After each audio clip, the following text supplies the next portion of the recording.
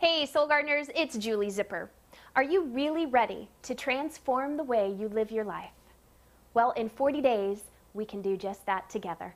For more details, go to 40daymeditation.com.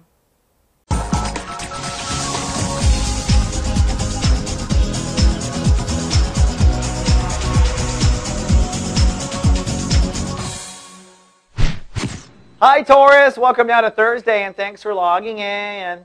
Partly sunny, charismatic, and cool today for the Bulls. Wave that red flag. You're not going to get me to, to chase after you.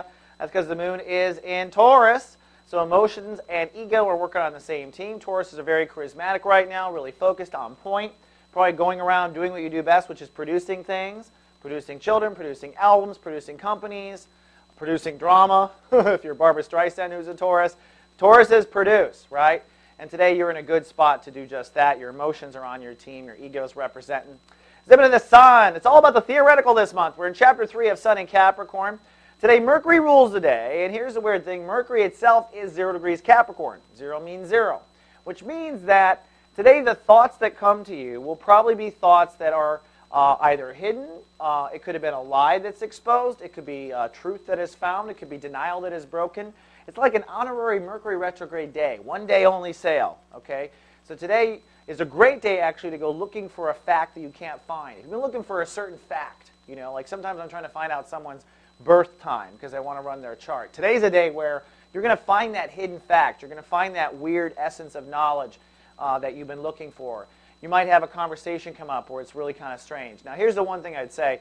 This is not a day with all the Mercury weirdness to like go out and talk to your uh, wife about your marriage and how it's not working. Eh, unless that's the weird fact that needs to come out. You know what I'm saying? But my point is, is this is a good day for processing thyself, but not so good for uh, sharing what you come up with. Because the whole world is kind of wigged out by what they're discovering too. Now, Venus is in Sagittarius. Venus is the loving creation vibration, if you don't know, restores balance and harmony uh, and justice to any situation.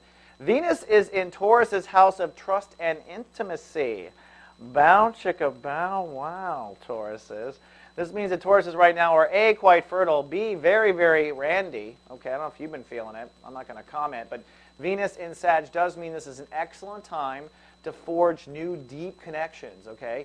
And the relationships that you have right now, no matter how shallow your relations might be with certain people, you might actually be planting the seeds to deep, rich friendships or lovers right now. And this is a once a year transit, by the way. So uh, the actions you take right now may have deep consequences later. So be very conscientious. And Venus is there for you to connect in a good way. And it's Thursday. I've got Sadika Salters, Renegade Aromatherapist, going live today. Today, Sadika talks about the powers of violet and what this beautiful purple flower can do for your soul's well being. Sadika is chock full of spiritual wisdom, and she is live everywhere Violet blooms. Okay, Bull, that's all I have for today. Tomorrow, Venus rules the day. That's rainbows galore and just 24. Until then, live, love, be. So God.